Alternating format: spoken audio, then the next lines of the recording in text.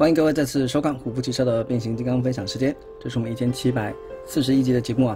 魔方的军事合体混电豹，我们今天就给大家来个一个合体的过程。那我先前的话呢，呃，分享过了这款坦克的吵闹，当时的话呢是没有后面这个配件的。那么之后的话呢，哎，我忘了是在哪一款啊会附送了这个补充的这个配件。那这个补充的配件的话呢，安装的方法呢两个都是一样的啊，从后面这个地方。推出来，然后呢，从后面这里看到这里两个洞，这里有两个凸，啊，从这个地方把它给扣上去，还有上方啊这个地方这个结合位置，大家应该能够看得很清楚了啊，就把它给摁下去，扣上去之后的话呢，对于整个的造型有一个更加稳固的一个效果啊，从这个地方把它给扣上去啊，好的，两侧都扣上了啊，好，这样一来腿部的整个啊就更加的完整了啊，好吧，那我们就。啊，把这个袭击的话呢，给补充到这个家伙的后面去啊。首先呢，可以把这个两侧给打开，打开的目的呢是把这个地方给抠出来，打开，打开，啊，这里可以先推开，推开这里才会解锁开来。然后呢，这两个凸，先 stand by 留着啊。再来胳膊的话呢，是把侧面这一片给打开，旋转进来之后，本来扣在外面的，我们现在把它扣到里面，拳头记得跟着转一下，手臂可以伸出来，然后呢，这里可以往后面推出一个特殊的角度啊，到这边，然后呢，再往上翻一层到这里来，好，然后的话呢，待会的话呢，我们大概是转成这个方向，啊，这边会有人东西跟它做一个结合，另外一侧的变形呢也是一样的啊，这一片。翻出来，然后旋转这个部件旋转过来，然后拳头也记得旋转一个角度拉出来到这边，整个推到后面啊，有点看上去有点 S M 的感觉啊。然后你会看到啊，这里这边是被结合的，这边是结合的，这边是凸，那一边是凹嘛。那这里有个双动关节啊，利用这个双动关节把它推到啊靠中间来，把它们做一个结合。OK，这里容错率还是比较高的啊，空间挺挺挺挺挺挺大的。好，把它给捏紧。OK，然后呢，这个部件就这样包上来之后啊，这里有一个凸，然后这边有个洞，就把它给组合上去啊。这地方还扣的不够紧是吧？感情不好吗？啊，好，这样子上来这里把它包进去。这个包进去这里的话呢，就真的是需要啊稍微有一点点技巧了啊。这个扣进去的时候呢，因为。嗯，它整个空间是会推移的啊，然后腰部的话呢是一个旋转，腰部一百八十度，然后两个部件，裙角翻上去，再来的话呢，把这个角的话转到这一侧，啊，这个紫色啊不对，咖啡色条纹这里朝上，然后往上折上去，折上去之后要做什么呢？我们只需我们其实这个时候要做一件事情，就是把鞋尖藏到小腿里头去。那为了完成这个动作的话呢，我们就必须把整个腿啊。就是做一个打开，呃，各位知道一下就行。就我们把这个腿打开的目的，呃，就是为了把这一个鞋尖这个地方给放进去，藏进去。这个部件一样藏进来。其他部分的话呢，好了之后呢，就就可以即刻的呢，再把它们都给扣回去了啊。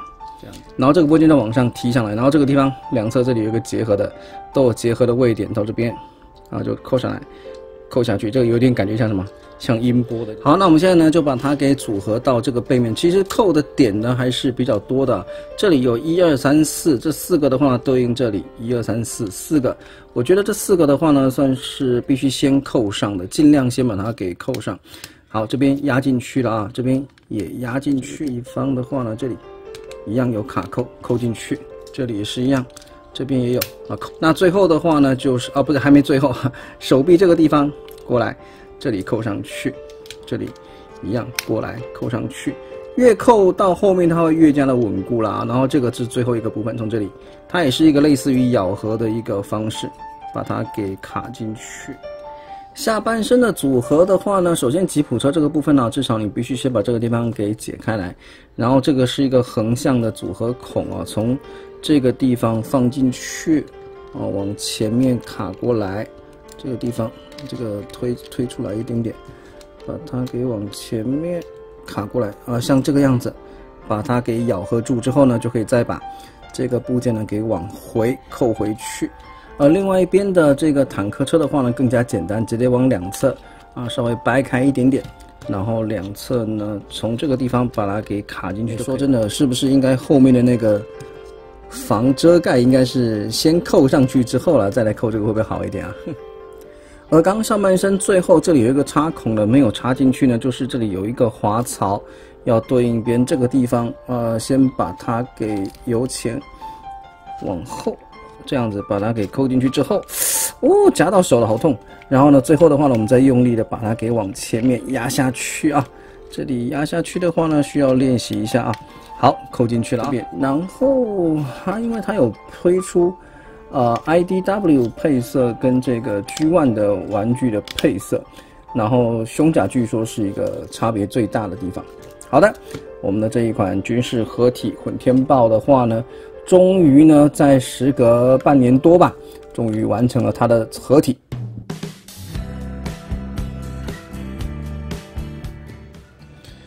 好啦，来看一下它的组合后的形态，我不晓得有没有完全变形到位啊。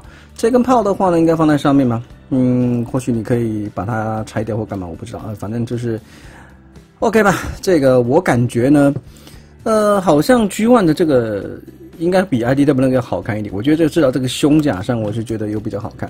然后刚才变形的时候呢，我这个炮的话呢，忘了把它换到粗的这两个，要把它排到外面来，这样一来它应该会更加的好看一点点。那它的背后的话，可以看到这这里啊，一样啊，虽然是有一个呃这个巨巨大的这些配件，但是我们的本体袭击依然非常辛苦的肩负在这个位置上。后面的裙甲可以这样子打开，里头的话呢有一个往前延伸的一个关节，各位应该能够看得到。而且这个齿轮的声音啊是非常的响亮的，毕竟这个腿的重量还是比较重啊。它这个为了维持一个比较好的支撑力度啊，然后呢裙甲还有侧裙甲。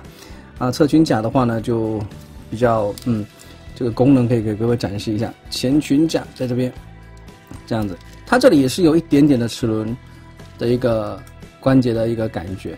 那前裙甲的话呢，就就就就各位看就知道了，它会连着一起带着动。